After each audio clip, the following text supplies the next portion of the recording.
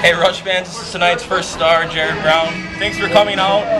For our first ever blackout, be sure to join us again on Tuesday, November 13th when we take on the Arizona Sundogs at 635.